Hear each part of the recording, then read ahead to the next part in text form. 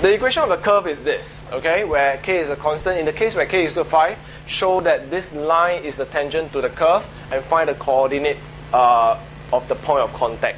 I think many of you got these three marks, and that's why uh, you get. I saw a lot of three just now. I really can't remember. But anyway, so part one should be quite easily done, right? So k is equal to 5. This is it. All right, show that this line is a tangent. How do you show it's a tangent? It must intersect at one point. Agree? It must intersect at one point, that's all. So when you are trying to solve for the intersection point, this is what you get. Okay? And you just need to explain to people uh, that this equation only has one solution. So there are a couple of ways we can do this. Let me show you quickly. All right, uh, 7 minus 19, so that's like minus 12, and then plus 18, and equal to 0, correct? Let me just double confirm. Yeah. Okay. Uh, and of course, you simplify this further by dividing throughout by 2. A few ways you can actually show that is a tangent. One way is to solve this and you only get one answer. Which is not hard because if you take a look at this, this is like x minus 3 squared. x equal 3. If you say that, Mr. I cannot see it like that, how? Don't worry. Just pretend to use the formula, then you use a calculator. Right? Remember talk about it before, minus b plus minus. Just write down the formula, then use a calculator, you can't go wrong anyway. x equal 3. Another way, you can show that the b squared minus 4ac is actually equal to 0. Okay? This is a bit more exotic. Alright? Uh, b squared minus 4ac is equal to 12 squared minus 4ac. And show that it's equal to 0. Therefore, there's only one solution. But I think this is this is better because eventually you need to find a point anyway, what? You follow? So you might as well just kill two pigs with one bird and then just get it done. Understand? Uh, rather than do the discriminant show that, oh yeah, it's only one solution, then end up you're going to find the solution separately. Okay, but the whole idea is it works. As long as you are clear. Alright, your working is clear, people understand that you are clear, people know that you know your stuff, you get the marks. Okay, so anyway, uh, like I said, this is what probably everybody can do. That's why a lot of people get three marks. So when x equal 3, go get the y. Uh, of course, you can uh, put inside the line. I think that's much easier. The answer is, hold on now, 44, which is a very strange uh, kind of number. Okay, the thing is this, right? Now, because you're supposed to show that it is a tangent, so just writing this down doesn't show effectively. You are just solving. You, you didn't explain why. Yeah. So you have to write down a line. If you want to do the blue color part, uh, you have to explain yourself. Well, since there is only one intersection, get me not? Ah, intersection. And then therefore, uh, the line is a tangent. And you have to explain. Because you, you must understand that this working, where x equal to 3, it doesn't show that it's a tangent, you know. You follow? Alright, it just, what you're doing here is you're just trying to find the intersection point. Okay, but you have to write down, expl- I mean, no, it's common sense. I know you know it's common sense, but you have to write down. Okay, you have to write down that, oh, because there's only one intersection point, therefore it must be the tangent. Done. Just this one line. Understand? Okay, the other way is, of course, using the b squared minus 4ac. And then that really shows. Because the b squared minus 4ac shows that there's only one solution, uh, and then uh, again, you probably have to explain because there's only one solution. It must be the tangent.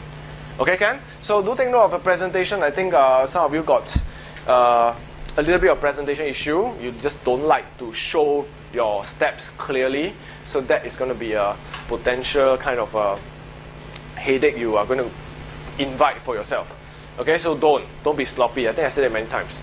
All right, next one. Uh, explain why there's only one value of k for which uh, y cannot be negative. I think this is the one uh, that we want to uh, on. Okay, this is probably the one that is uh, badly done.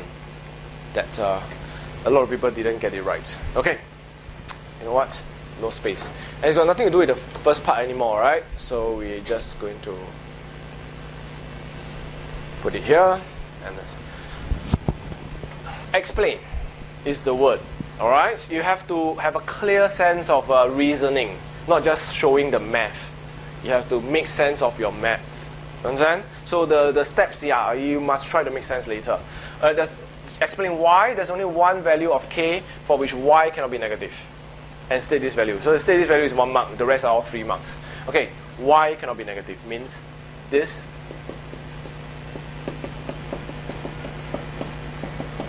must be positive or equal to zero. I think we talked about this many times. All right, uh, never negative doesn't mean always positive. Remember? We talked about that many times, okay, in class, right? Not girl doesn't mean you must be boy. That kind of idea. Okay? So cannot be negative doesn't mean it must be positive. No, it can include zero. Versus the difference between always positive. Always positive means it cannot even be zero. Clear or not? We talk about that many times, right? Okay, so there are people who uh, somehow got the equal sign wrong, but I think that's minority. So I just want to nag. Okay, the whole idea of revision to prepare for exam is nagging. Just make sure you all nag, nag, nag, and remember for the next one week. That's all. Next, which is very disappointing. Okay, we talk about this many times in class also. What does this mean? All right. Still, I see people do this. b squared minus 4ac more than equal to 0. Now, this is, the moment you see this, you get 0 already. Alright? And I saw some of your scripts for your uh, prelim exams also. You came out for your prelim exams. And also, some of you got it wrong. You see? So it's like, same thing, uh, neck and neck and neck, uh, no use one. So please, let this be the last time. Okay? So, take note, this is wrong. Okay? Why is this wrong? Because this is trying to tell you something. Alright, first of all, you must understand that this is an inequality that you cannot solve. The reason you cannot solve is because you cannot factorize. Well, the reason you cannot factorize is because there's a k. Simple enough? Alright, so therefore you cannot solve this. But anyway, nobody asked you to solve this. They're asking for k, not x. Understand? So, so the, the, they're trying to tell you something here. The y cannot be negative means y is a happy face and y must be floating above the x-axis. Alright, now Mr. Mr. can be equal. Yeah, equal is just an exception case, but don't care about the equal for now. But just understand that this is the, the mental picture that you should have. Okay? Now the opposite of this is what? It's a set face graph that is always negative. Then it will look like this. Yeah? But this is a positive, so it must be a happy face. Are we all good first? Can, okay. So we talked about this many times. Right? So what does this mean for my b squared minus 4ac? It means that it must be less or equal to 0. Alright, now again, don't be a smart aleck and try to memorize, oh, if I see this, I just flip. No, it is not. Okay, because if it's the, the other side, then you'll be copy and paste, you'll be the same. And that's more important is the idea. Alright, I'm sure you talked about this many times since Sec 3 until now. I think let's hope this be the last time, okay? Good. Now, then we got B squared minus 4, then that's it. The rest are, well, boring. Okay, pretty boring, really. All right, uh, and, and of course you expand. Okay, and then now this is an inequality that you can solve. Uh, minus 4k plus 4, uh, that's 0. So 4k plus 4, that's like a very nice number, right? 2. So it's a k minus 2 square. That's then equal to 0. Now, most of you know what to do for this, which is good. Uh, cannot explain why there's only one value.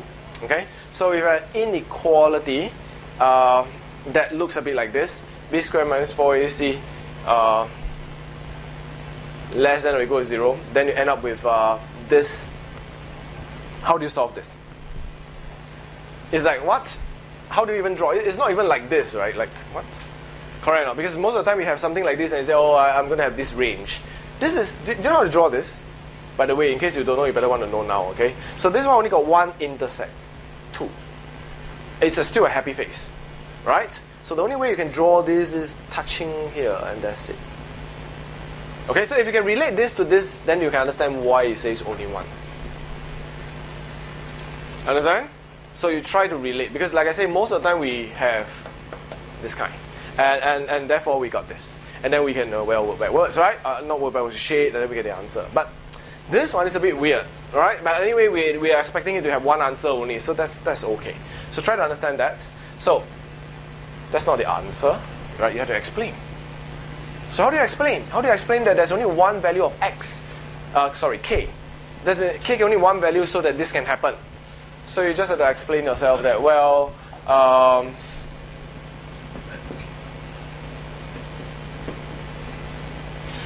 k minus uh, k minus 2 whole thing square uh, is positive for all k values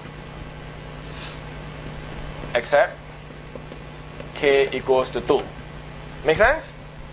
Because it's a perfect square what, right? So whatever as k you put inside, k can be 1 million, it will still be positive. Alright, uh, k can be negative 1 million, you minus 2, you square, it still be positive. So k, it, this k minus 2 square is always positive, no matter what value for x, uh, k, sorry, uh, except k equal to 2. Because when you put in k equal to 2, it will not be positive anymore. Make sense? So, therefore, k equals to 2 is the only, what? Only value for k minus 2 squared to be less than or equal to 0. That's the only chance you have to make it equal to 0. It will never be negative. You know it for sure. Right? No way it can be negative. No way. Alright? Uh, but uh, it can only be equal to 0. And, and of course, that answers the next part of the question as well. So, I think the explanation, of course, you don't have to copy word for word. Alright? You can do in your own words, but the idea must be there. Understand? You are supposed to explain. So you don't stop short here and then expect me to explain myself. Like, uh, okay, so what do you, you never explain to me why there's only one answer. So you have to explain to people like, oh, because there's only one answer, because that's the only one value for k that will actually make this happen. Something like that. Understand? Okay, so look out for the word explain. Usually means you need to write some English. Okay? So take note of that, alright? It happens. Uh, this was just last year, so I don't know whether it happened in paper one, but watch out for it. The next thing is uh, state the value. Okay, that, that, okay, that, that one is lame. Okay, so just put in one more line, k equal to. Done. Okay, so this was one of the not so well done question. Uh, like I said, the reasoning is missing for many of you. All right, the reasoning is not up to standard or maybe not even there. All right, the other thing that I saw wrong is this one. Okay, so this one still got people get wrong. So that's uh, really unreasonable, I would say. Okay.